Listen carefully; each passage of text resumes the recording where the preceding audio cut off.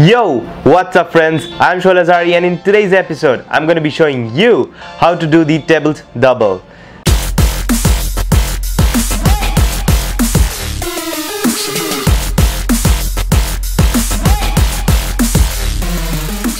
Today's Instagram feature is Planesoda. Follow him on Instagram, link is given in the video description.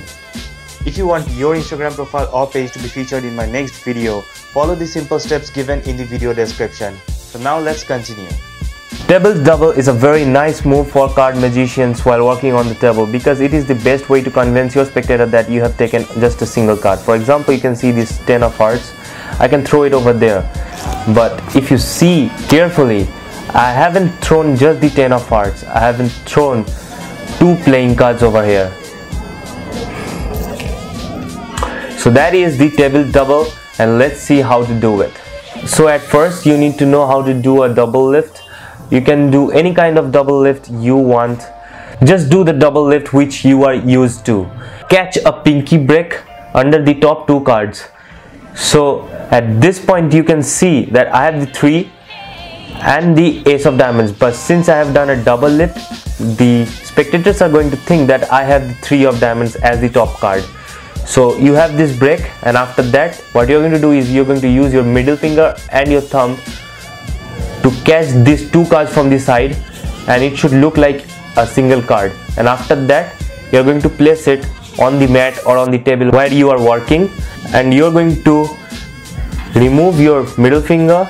You're going to press down over here at this point of the card with your index finger nail so like this. And at this part this edge you're going to pull up using your thumb.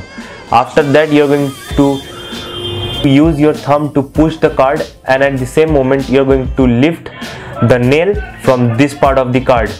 So combining all these moves if you do it like this you'll be able to see that you have pushed this card away from you. And it's very much convincing to the spectator that it is a single card but it's actually two cards. So all together you're going to do a double lift over here and after that you're going to pick up the card like this. Use your index finger to press down over here. Index finger nail sorry. And remove your middle finger. Use your thumb to push the card and remove the nail of your index finger at the same moment. And you can give a big push. So that is how you do the table double so I hope you enjoyed today's tutorial on how to do the table double hit the like button if you did so and follow me on Instagram at Sohail underscore Hazari and if you have any questions put them in the comment section or DM me directly to my Instagram profile.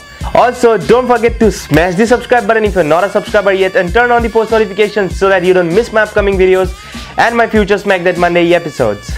Peace.